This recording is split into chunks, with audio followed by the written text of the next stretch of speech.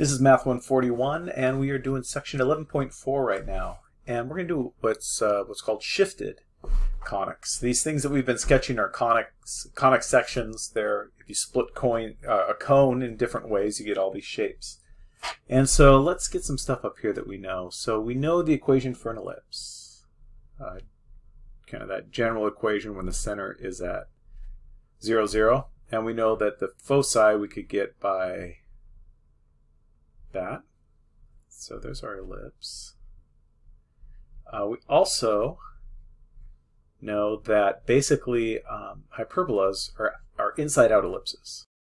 And it all looks the same, except there's some subtraction instead of addition going in there. And we know that a squared plus b squared it gives us. Right, this one going up down. Okay, so let's take these equations and mess around with them a little. So let's say I had something like, uh, I don't know, x squared over 9. We know that's going to be an ellipse. Center's at 0, 0. We've got to offset a 3 from the center because of that 9. 3 squared. And we've got to offset a 5 in the y direction um, because of that 25. Now what I want to do is I want to mess around with a little bit of this, this x and y. So notice what happens if I uh, mention the picture off real quick. If I change this to a to an x minus 3 in here, notice what happens. My The whole thing shifts to the right 3. It's like if this is time, everything's happening three clicks later in time. Um, and I could do the same sort of thing with y. I could say just uh, a y plus 1 being squared. And notice that that shifts it down 1. So my, my center now is at 3, um, negative 1. And the way I can think about where my center is, is what x value is going to make this a 0 if I plug it in. And what y value is going to make this a 0 if I plug it in. And my offsets are still the same. Like it still goes 3 from the center in both directions. And, uh, and then 5 from the center in both directions uh, for, in the y. So my offset's the same. This just shifts it. So notice that like instead of minus 3, this was like plus 3. I was just going to shift it, shift my center to negative 1, negative 1. And the same thing would happen if this was a hyperbola. So I'm just going to copy it and change this into subtraction.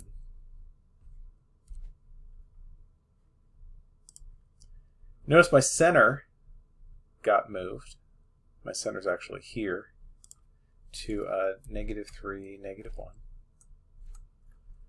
And then I'm offset of 3 in both um, 3 in both directions from there in the, in the x because of that 9.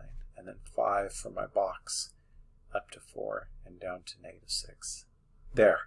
So basically, that's how I can shift this around. And if I just, let's say I just make these variables, I'll just call them a and b just for, for my convenience. And uh, Oops, these should be minus those. And notice as I shift it around, if I change that a value, that x, it's going to move it left right. The y is going to move the whole thing up down. Now it's a funny motion looking that up down. It's it's really shifting. It looks like it's kind of like doing a wave type thing, but the whole thing is just shifting.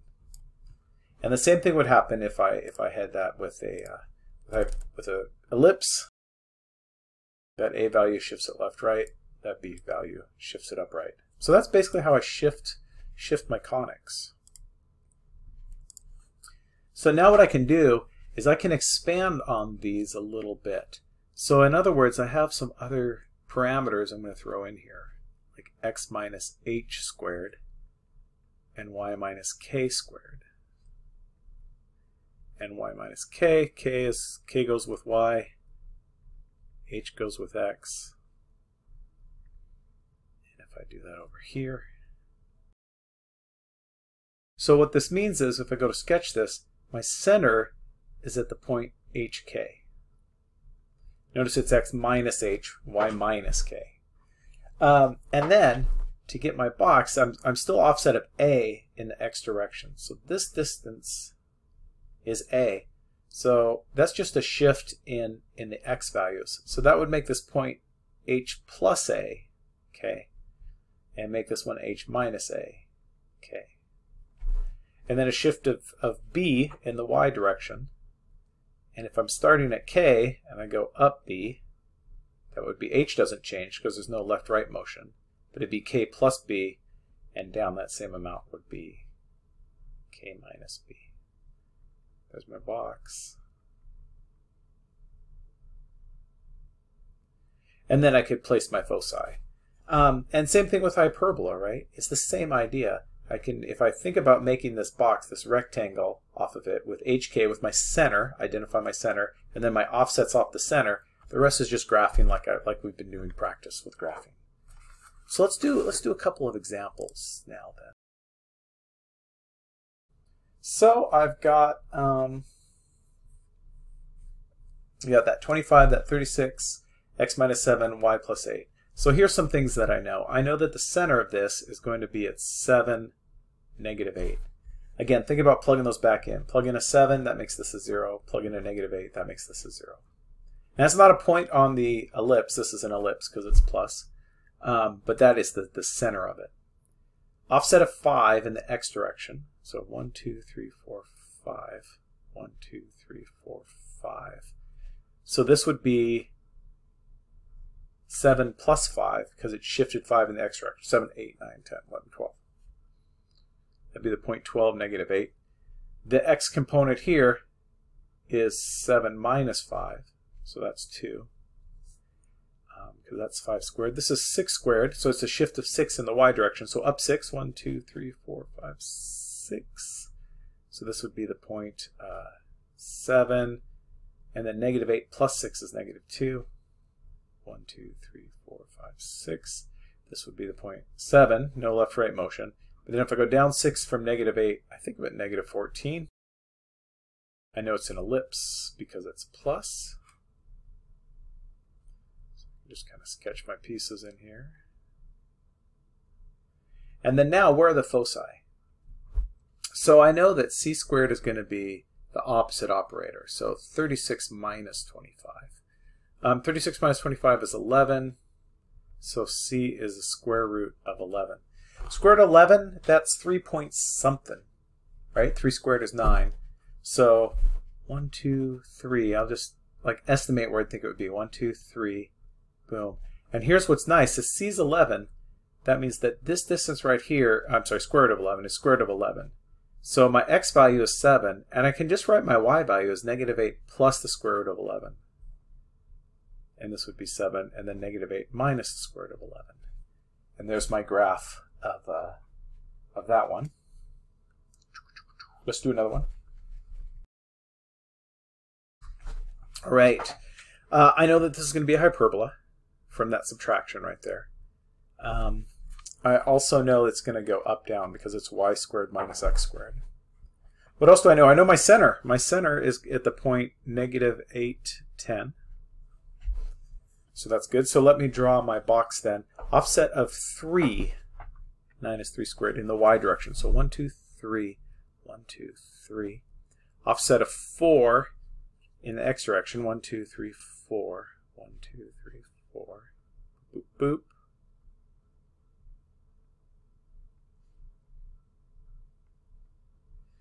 And this point right here then, I, I um, subtracted 3 from y.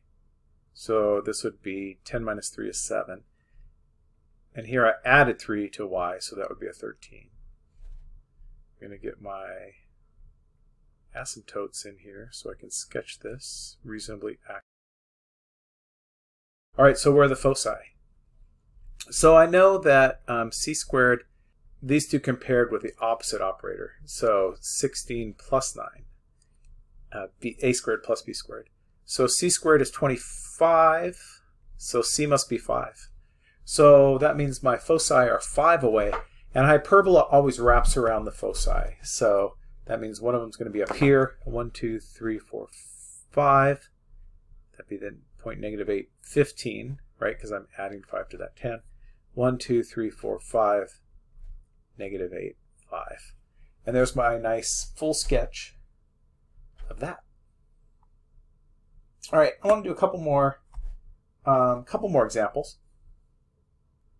All right, I'm going to uh, sketch a graph of this, and it is a hyperbola because I have the subtraction going on, and it's also um, going left-right because it's x squared minus y squared. So I know my center is at negative 5, 9. Negative 5, 9. And look at, I have a 7 here. So 7 is the square root of 7 squared. So I'm just going to leave that x distance as square root of 7 knowing that that's 2 point something. 2 squared is 4, 3 squared is 9. So, so 2 point something. 2 point something. And if I go to label these, um, I could just say negative 5 plus square root of 7, 9. And this point would be, um, well, this is going to get crowded. I'll do it this way. Negative 5 plus the square root of 7, 9. And this point here would be um, negative 5 minus square root of 7, 9. Uh, 5, so square root of 5 squared is that distance. That's a 2 point a little less, so something like that. So I draw my box. Hyperbola. And now let me find where the foci are. I know that it is uh, c squared is a squared plus b squared because it's opposite of that. So 7 plus 5 is uh, 12. So c equals square root of 12, uh, which is, uh, what, 2 root 3.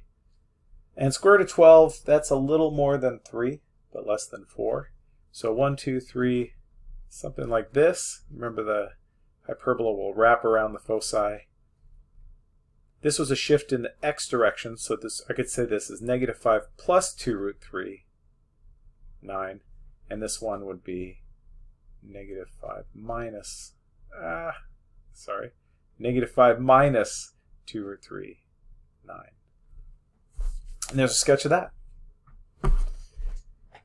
All right, this last one, I'm not going to actually sketch it, but I just want to do a little bit of analysis of it. If I had uh, this plus x minus 7 squared over 5 equals 1.